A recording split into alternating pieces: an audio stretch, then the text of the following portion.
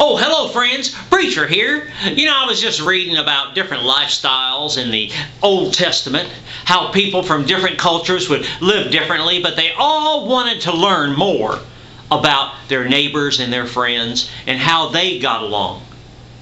You know, the human character is a unique thing in the universe.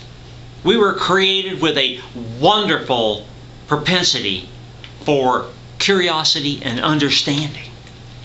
Now, on that same topic, there's a certain search engine and website called ehow.com.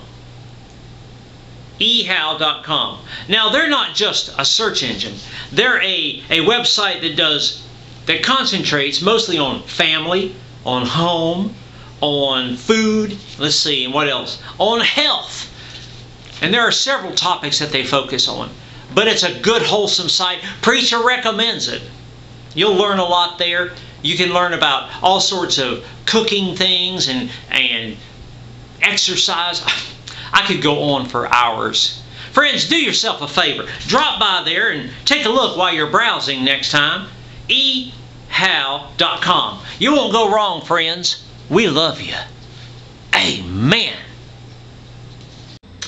Hello, friends. Preacher here. You know, I was just reading in the scriptures how people used to come together and share their information. You know, some people would write on the papyrus sheets their script, other people's would review it. The scribes and the Pharisees would get together. Oh, it's complicated, friends, but things happened back in the old days and they're still happening today. Let me share something with you.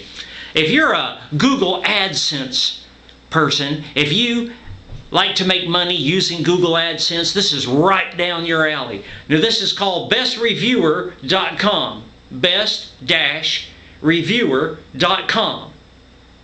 Now, what you can do is you can post your articles there, the stories that you've written, reviews of other sites, reviews of anything automobiles, televisions, reviews of other reviews and you can get paid as people read those and click on the ads.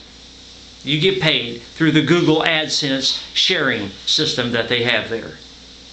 Now, friends, you get paid for doing nothing. It's a wonderful opportunity for you. Why some of the folks down at the congregation are thinking about joining up because they've got plenty of time on their hands. Friends, we care about you. We want you to be happy. I want you to be profitable. I want you to try it out today. BestReviewer.com. Don't forget the dash. We love your friends. Amen.